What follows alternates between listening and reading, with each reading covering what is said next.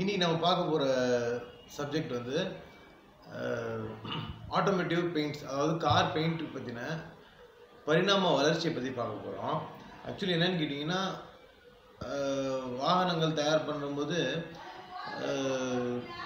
Paint protection அதாவது இரும்பை வந்து ப்ரொடெக்ட் பண்ணணும் அப்படிங்கிறதுக்காக பெயிண்ட்டை ஃபஸ்ட்டு அப்ளை பண்ணாங்க.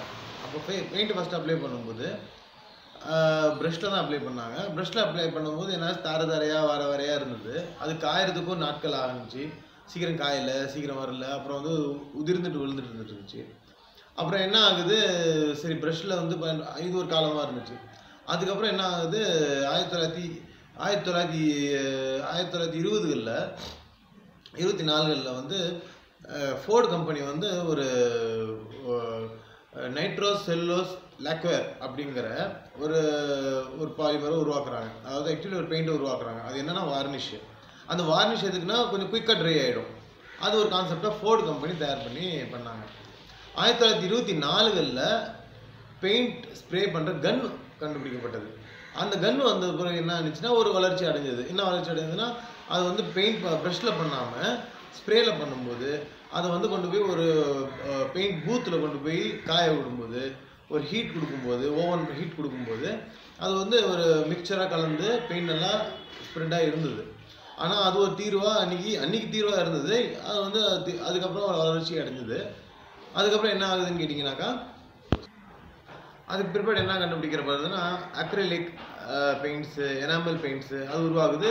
அது அதே ஒரு இருபது மற்றும் இருபத்தி நாலுகள் வருடங்கள் ஆயிரத்தி தொள்ளாயிரத்தி இருபது இருபத்தி நாலில் வந்து உங்களுக்கு இந்த மாதிரி பெயிண்ட் வகைகள் தயார் பண்ணுது. சேம் அதே மாதிரி தான் பேக் பண்ணாங்க. அது வந்து பெயிண்ட் பண்ணும்போது உங்களுக்கு வந்து ஆயில் வந்து ஒரு அளவு கூடி இருந்தாலும் அது வந்து பெருசாக சக்ஸஸ் ஆகலை. அதுக்கு பிற்பாடு என்ன ஆகுது? ஆயிரத்தி தொள்ளாயிரத்தி எண்பதுகளில் யுரேத்தேன் பாலியூரேத்தேன் அதாவது இப்போ எப்படின்னா அது ஒரு பெட்ரோலியம் ப்ராடக்ட்டு அது என்ன எல்லாமே பெட்ரோலியம் ப்ராடக்ட் தான். ஆனால் வந்து அந்த ப்ராடக்ட் வந்து உருவாகும்போது ப்ளஸ் அதோட சேர்ந்து ஒரு கிளியர் கோட் அப்படிங்கிற ஒரு கண்டுபிடிப்பும் வருது. என்னென்னா பெயிண்ட் ஃபஸ்ட்டு கலர் வந்து ஸ்ப்ரே பண்ணிவிடுவாங்க ரெண்டு கோட்டோ மூணு கோட்டோ ஸ்ப்ரே பண்ண பிறகு அந்த கிளியர் கோட் அப்படிங்கிற இன்னொரு ஸ்ப்ரேவும் பண்ணுவாங்க. சரி இப்போ இந்த இதோடைய இந்த இது வரைக்கும் நான் சொன்னேன் இல்லைங்களா? இது வரைக்கும் சொன்ன விஷயங்கள் என்னென்னு கேட்டிங்கன்னா இந்த பெயிண்ட் ப்ரொடெக்ஷன் யாருக்கு அதிகமாக தேவைப்பட்டிருக்கு அப்படின்னா நம்ம நாட்டு மக்களுக்கோ நம்ம நாட்டு உஷ்ணமான பிரதேசங்களில் தேவைப்படல. பெரும்பாலும் வந்து குளிர்கான யூரோப்பியன் கண்ட்ரீஸில் வந்து ஐஸு மழை அதாவது ஈரப்பதத்தோடையே வாழக்கூடியவங்க ஈரப்பதத்தோடையே இந்த கார்கள் பயணிக்கும் அப்படிங்கிற க கண்டிஷனில் அந்த வாகனங்களுக்கு ப்ரொடெக்ஷன் தர வேண்டிய கட்டாயமாக இருந்தது. ஸோ அவங்க என்ன கண்டுபிடிக்கிறாங்க அப்படின்னா பெயிண்ட் அந்த இந்த கிளியர் கோட்டை கண்டுபிடிக்கிறாங்க. இந்த கிளியர் கோட் கண்டுபிடிக்கிறது என்ன ஒரு நோக்கம் கேட்டிங்கன்னா இப்போ இருக்கிற வெஹிக்கிள்ஸ் கூட பார்த்தீங்கன்னா இப்போ பிஎம்டபிள்யூ ஆகட்டும் பி மெர்சிடிஸ் பென்ஸ் ஆகட்டும் ஓல்வோ ஆகட்டும் இல்லை ஓல்ஸ் வேகன் ஆகட்டும் இந்த வெஹிக்கிள்ஸ் எல்லாமே பார்த்தீங்கன்னா பெரும்பாலும் பார்த்தீங்கன்னா ஜெர்மன் வெஹிக்கிள்ஸாக இருக்கும். இந்த ஜெர்மன் வெஹிக்கிள்ஸ் எல்லாமே பெரும்பாலும் கிளியர் கோட் மொத்தமாக இருக்கும். பெயிண்ட் கோட்டோட பெயிண்ட் ஒரு கோட் ரெண்டு கோட் மூணு கோட் இருந்தாலும் அதுக்கு மேலே ஸ்ப்ரே பண்ணுற அதாவது கோட் பண்ணுற அந்த கிளியர் கோட் வந்து நல்ல கனமாக இருக்கும் மொத்தமாக இருக்கும். ஏன் கனமாக மொத்தமாக கொடுத்துருக்காங்க அப்படின்னாக்கா அது வந்து நீங்கள் நாளடைவில் காயமாகவும் துடைக்கும் போது அது அந்த ஸ்க்ராச்சஸ் உருவாகும் போது அதை வந்து பாலிஷ் பண்ணி லேசாக அதுக்கான ஒரு கோட்டிங் கொஞ்சம் கொஞ்சமாக எடுத்துட்டா பாலிஷ் நல்லா ரிஃப்ளெக்ட் ஆகும். இதுக்கு வந்து நான் ஒரு சார்ட் வந்து நான் ஒரு நான் டிஸ்பிளே கொடுக்குறேன் இப்போது அந்த சார்ட் வந்து எப்படி அந்த ரெஃப்ளெக்ஷன் வருது அந்த பெயிண்டோடைய சூரிய வெளிச்சப்பட்டு ரெஃப்ளெக்ட் எப்படி ஆகுது அப்படி அந்த ரெஃப்ளெக்ஷனுக்கு தேவையான ஆப்ஜெக்ட்ஸ் அங்கே பெயிண்ட் அந்த கோட்டிங் லேயர் இல்லைன்னா என்ன ஆகுங்கிறது நான் அந்த சார்ட்டில் உங்களுக்கு சொல்கிறேன் இங்கே அந்த டிஸ்ப்ளே ஆகும். வெயிட் பண்ணுங்கள் அதுக்குள்ளே இன்னொரு இன்ஃபர்மேஷன் சொல்லி முடிச்சிடறேன்.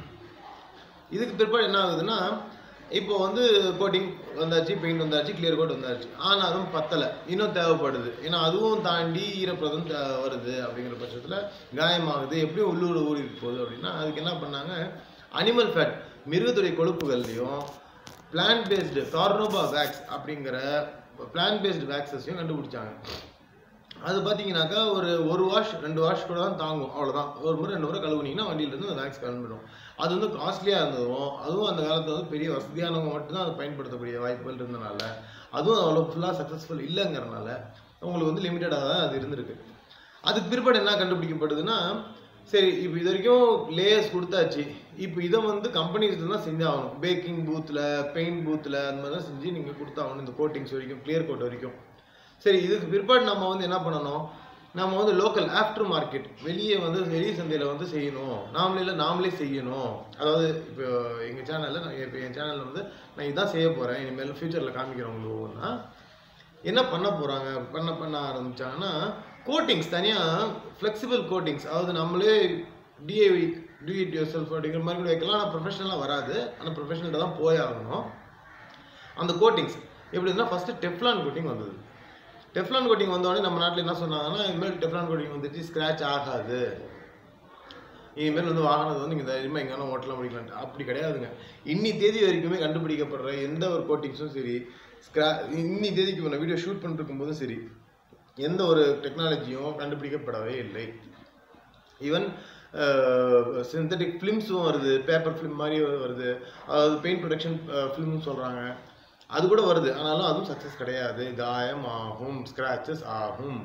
ஆயுளும் கம்மி தான் இதை வந்து மெயின்டைன் பண்ணிகிட்டு இருக்கிறது. இப்போ வாகனத்தை வந்து மெயின்டைன் பண்ணிக்கிட்டே இருந்தீங்கன்னா அந்த ஸ்க்ராச்சஸோட அளவையும் அந்த பெயிண்டோட ப்ரொடக்ட் அந்த கிளாஸையும் அந்த பிரகாசத்தையும் அந்த அந்த ரெஃப்ளெக்ஷனையும் அதை நீங்கள் வந்து தக்க வைக்கலாம். அதுதான் முடியும் சாத்தியமும் இன்னி தேதிக்கு இப்போ காலகட்டத்தில். டெஃப்லான் கோட்டிங் சொன்னேன் இல்லைங்களா? டெஃப்லான் கோட்டிங் அடுத்தது செராமிக் கோட்டிங் வந்தது. எஸ்ஐ விட்டோ சிலிகான் டை ஆக்சைடோடைய பேஸ் அது. அந்த பேஸில் வந்து வந்தது அதுவும் ஒரு கோட்டிங் மாதிரி தான். இந்த நம்ம வந்து இது கிளியர் கோட் மாதிரி தான் அதுவும் இருந்தது. இருக்குது அது வந்து நீங்கள் ஸ்ப்ரே பண்ணலாம். துடைச்சிடலாம் முடிஞ்சிருச்சு. அதுக்கு ஒரு ப்ரொசீஜர் இருக்குது சும்மா நான் சொன்ன மாதிரி கிடையாது. அது ஒரு ப்ரொசீஜர் இருக்குது பெயிண்ட் அது நல்லா ப்ரிப்பேர் பண்ணணும். அது ப்ரிப்பேர் பண்ண அப்புறம் அதை பண்ணணும். ஆனால் பட் வெளியே நீங்கள் தாராளமாக அழகாக செய்யலாம். நிறைய நண்பர்கள் நிறைய பேர் செய்கிறாங்க உங்களுக்கு வந்து பார்த்தீங்கன்னா ஒரு ப்ரொசீஜர் தான் இது ஒரு ப்ரொசீஜர் சரி நாம வந்து நம்ம வீட்லேயே இப்போது என் வண்டியை வந்து நான் ஒவ்வொரு முறையும் நான் வருஷத்துக்கு ஒரு முறை கொண்டு போய் ஒரு ப்ரொஃபஷனல்கிட்ட கொடுத்து செய்கிறதோட வண்டி கழுவும் போதே நம்ம சிறப்பாக செய்யலாமே. நம்ம வந்து வண்டி கழுவும் போதே நம்ம ஒரு வேலையை செஞ்சிடலாமே அப்படின்னா ஆமாம் அதுக்கும் ஒரு உதாரணம் என்ன அப்படின்னா இப்போ செராமிக் சொன்னேன் இல்லைங்களா? செராமிக் கோட்டிங்ஸு கிராஃபீன் கோட்டிங்ஸு இதெல்லாம் கோட்டிங்ஸ் எல்லாமே ஷாம்புலேயே கொடுத்துட்டாங்க.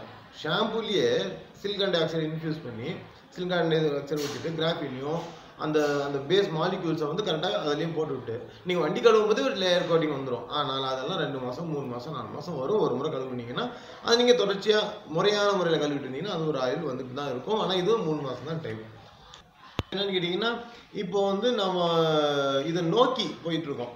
சரிங்க. இப்போ வந்து இதுதான் வேலையா? இப்போ இனிமேல் நம்ம வந்து இது சும்மா இதே நோக்கிட்டு போயிட்டு இருக்க முடியுமா? ஒவ்வொரு முறை கோட்டிங்ஸ் போகிறோம் அது வந்து ஒரு வருஷம் ரெண்டு வருஷம் தான் வருதுங்கிறீங்க அதோட ப்ராசஸ் பண்ணுங்கிறீங்க இதுக்கு என்ன பண்ணலாம் அப்படின்னா நம்ம வந்து ப்ராசஸ் தாங்க. நம்ம வண்டி கழுவுற மாதிரி அப்பப்போ வண்டி கழுவுற மாதிரி. ஆக்சுவலி என்னன்னு கேட்டிங்கன்னா துடைக்காமல் இருக்கிறது தான் வண்டியே காயமாகாமல் இருக்கிறதுக்கும் ஸ்க்ராச்சஸ் ஆகாமல் இருக்கிறதுக்கும் ஒரு வாய்ப்பு வாய்ப்பு என்னென்னா நம்ம வண்டிக்கு கொடுக்குற ஒரு ஆயில் நம்ம துடைக்காமல் இருக்கிறதுக்கு. அது துடைக்காமல் இருக்க துடைக்காமல் இருக்க முடியாது. துடைச்சி தான் ஆகணும்.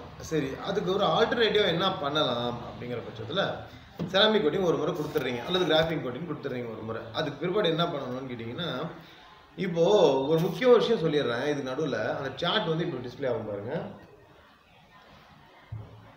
இப்போ இந்த சார்ட்டில் பார்த்தீங்கன்னா ஒவ்வொரு லேயர்ஸ்லேயும் பார்த்தீங்கன்னா உங்களுக்கு வந்து பேஸ் கோட் இருக்கும் பெயிண்ட் இருக்கும். அப்புறம் வந்து கிளியர் கோட் இருக்கும். அதுக்கு வந்து கிளியர் கோட்டில் பாருங்க அந்த ரெஃப்ளெக்ட் ஆகிற மாதிரி ஒரு வி வி வி வி தெரியுதுங்களா? இப்போ இந்த வந்து பார்த்தீங்கன்னா ஒவ்வொரும் எவ்வளோ காயமாயிருக்கு அந்த கிளியர் கோட்டுங்கிறத காமிக்குது. சரி இப்போ இந்த காயம் வந்து அதில் தான் ஆகுது. இரும்பு துகள்கள் சாண்டு மணல் அதெல்லாம் தான் ஆகுது. இதை வந்து பார்த்தீங்கன்னா இதில் புரிஞ்சுக்குங்க கண்டிப்பாக புரிஞ்சுக்குவீங்கன்னு நினைக்கிறேன். சரி இது வந்து பார்த்தீங்கன்னா இப்போ இது வந்து இப்போ எம் சாண்ட் வந்து எடுத்துகிட்டு போகிறாங்க சரி இப்போ எம் சாண்டு வாகனம் வந்து நீங்கள் ஹைவேல போயிட்டு இருக்கும்போதுங்க சூரிய வெளிச்சத்தில் வண்டி கொதிக்க ஆரம்பிக்குது பார்த்தீங்களா பெயிண்ட்டு அப்போ வந்து பெயிண்ட் பொருள் மேலே வந்து இந்த கிளியர் கோட் கொடுத்துருக்கீங்க பெயிண்ட் கொடுத்துருக்கீங்க அது தழும்பும். நம்ம கண்ணுக்கு தெரியாத அளவுக்கு தழும்பும். தழும்புனா லூஸ் ஆகிடும் லூஸ் ஆன பிறகு என்ன ஆகும்? எதிரில் ஓடிட்டு இருக்கிற வண்டியிலோட பிரேக் இருக்கு இல்லையா பிரேக் பிடிக்கும். அந்த பிரேக்கில் வந்து இரும்பு டஸ்ட் இருக்கும். அந்த டஸ்ட் எல்லாமே வந்து பறந்து பறந்து வந்து அதுக்குள்ளே உட்காந்துக்கும் உட்காந்த பிறகு நாம் என்ன பண்ணுவோம்? நம்ம கண்ணுக்கு தெரியாது அது. அது நாம் என்ன பண்ணுவோம்? அதுக்கப்புறம் துடைக்கும் போது தேய்க்கும் போது நல்லா போட்டு தேய்ச்சி தேய்ச்சி வைப்போம். அந்த இரும்பையும் போட்டு சேர்த்து வலிக்க வலிக்க வலிக்க எடுப்போம். காயம் நல்ல அழகாக காயங்கள் உருவாகிடும். இதுக்கு வந்து இந்த எம்சாண்ட் பற பரப்புறதும் ஒரு ரீசன் இருக்குது ரயில்வேஸ்லேருந்து அந்த பிரேக் டஸ்ட் அதிகம் அங்கே தான் வருது. காரில் பெரும்பாலும் அதே தான். நம்ம தவிர்க்கவே முடியாது. வண்டியை வந்து நல்லா ஓட்ட முடியாது. காரை ஓட்டி ஆகணும் இப்போ இதுக்கு என்னன்னு கேட்டிங்கன்னா இதுக்கு சில ப்ராடக்ட்ஸ் இருக்குங்க. அது இதை வந்து ஆக்சுவலி இந்த வீடியோ வந்து போஸ்ட் பண்ணதுக்கு ரீசனே இதுக்கு உங்களுக்கு வந்து புரிதலுக்காக தான் இந்த வீடியோ இருக்குது அந்த ப்ராடக்ட் என்னென்ன ப்ராடக்ட் இருக்குது அது நீங்கள் ஒன்ஸ் யூஸ் பண்ணீங்கன்னா ஒரு வருஷம் ரெண்டு வருஷம் மூணு வருஷம் வண்டி வந்து நல்லா பிரைட்டாக வச்சுக்கலாம் அப்படிங்கிறதுக்காக நோக்கத்தில் தான் இந்த வீடியோ நான் வந்து போஸ்ட் பண்ணுறேன் இது வந்து பார்த்தீங்கன்னா அயன் ரிமூவர்ஸ் இருக்குது அதான் நிறைய ப்ராடக்ட்ஸ் இருக்கு இல்லையா? அந்த ப்ராடக்ட்ஸ் எல்லாமே நான் ஒவ்வொன்றா ஒவ்வொன்றா அவங்க அப்டேட் பண்ணுவேன். ஆனால் பெரும்பாலும் இந்த வீடியோ மட்டும் ஒரு முறை பார்த்துக்கிட்டு அதுக்கப்புறம் கண்டினியூ பண்ணின வீடியோஸ் எல்லாமே நல்லாயிருக்கும் ப்ளஸ் ஹன்னான் லக்ஸரி அப்படிங்கிற பேர் வச்சுட்டு நான் உங்களுக்கு காருடைய லக்ஸரி ப்ராடக்ட்ஸ் மட்டும் சொல்லிட்டு இருக்கேன். ஆக்சுவலி காருக்கானது இன்னும் நான் தூங்கி இருக்கேன் நியூ சேனல் போக போக லக்ஸரி செக்மெண்ட்டாக தனியாக கொண்டு வரும் அதனால் எல்லா ப்ராடக்டும் அழகாக நல்லா லக்ஸரியஸாக இருக்கும். நினைக்கமா முயற்சி பண்ணுறேன் கண்டிப்பாக எனக்கு தெரிஞ்ச லக்ஸரி விஷயங்கள் நான் வாழ்ந்தது வா வாழ போகிறது எல்லாமே நான் உங்களுக்கு வந்து காமிக்கிறேன். இதுவும் காருக்கான லக்ஸரி ப்ராடக்ட்ஸ் தான். ஆக்சுவலி கார் நம்ம வாட்ச் வச்சுருக்கோம் கார் வச்சுருக்கோம் வீடு. ஒரு லக்ஸரி ப்ராடக்ட்டை எப்படி லக்ஸரி இன்னும் லக்ஸரியாக அழகாகவும் மெயின்டைன் பண்ணுறது தக்க வைக்கிறதுங்கிறது இந்த காலகட்டத்தில் பெரிய விஷயம். ரைட் நண்பர்களே? இப்போ வந்து இது வரைக்கும் நான் வீடியோ கொடுத்துருக்கிறது உங்களுக்கு பிடிச்சிருக்குன்னு நினைக்கிறேன். கண்டிப்பாக என்னுடைய ஒவ்வொரு வீடியோவும் இன்ஃபர்மேட்டிவாக இருக்கும். உங்களுக்கு சப்ஸ்கிரைப் பண்ணி பார்க்குற அளவுக்கு ஒர்த்தாக இருக்கும். கண்டிப்பாக பிடிக்கும். உங்கள் விருப்பம் இருந்தால் சப்ஸ்கிரைப் பண்ணுங்கள் ஷேர் பண்ணுங்கள் லைக் பண்ணுங்கள் கமெண்ட்டும் பண்ணுங்கள் இல்லை ஏதாவது டவுட்ஸ் இருந்தாலோ இல்லை ஏதாவது என்ன என்ன நான் என்ன இம்ப்ரூவ் பண்ணுறதுக்கான ஏதாவது குறைகள் இருந்தாலும் என்கிட்ட சொல்லுங்கள் நன்றி வணக்கம்.